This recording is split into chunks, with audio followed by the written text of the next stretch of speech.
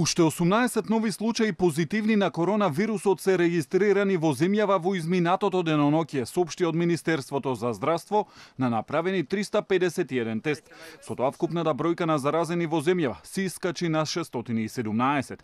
Но има и два смртни случаи. Станува збор за 73 годишно лице од Куманово но и 44 годишен албански државјанин кој беше пронајден мртов во Кавадарци. Како што потврдија од Центарот за јавно здравје во Кавадарци, бил позитивен на коронавирусот. Бројот на вкупно починати лица во земјава од COVID-19 изнесува 28.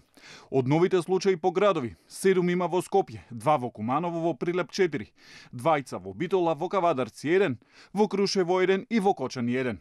Од клиниката за инфективни болести и фебрилни состојби во Скопје денеска се испишани пет оздравени пациенти, кои по два негативни контролни бриса во добра општа состојба заминуваа дома. На оваа клиника примени се 4 нови пациенти, а во моментов се хоспитализирани вкупно 66 пациенти, од кои 7 пациенти се на механичка вентилација.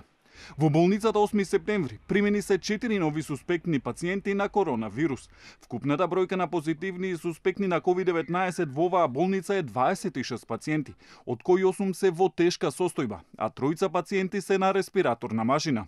Во болницата во Штип нема нови примени пациенти на болничко лекување. Во моментов се хоспитализирани четворица пациенти, од кои еден пациент со средно тешка клиничка слика со пневмонија и тројца стабилни. Според местото на живење, досега случаи на COVID-19 најмногу има во Скопје 261, потоа во Куманово 130, во Дебар 49, во Штип 20, во Прилеп 38. На територијата на општина Прилеп денеска се регистрирани 4 нови лица заразени со коронавирусот, со што вкупниот број на инфицирани таму изнесува 38.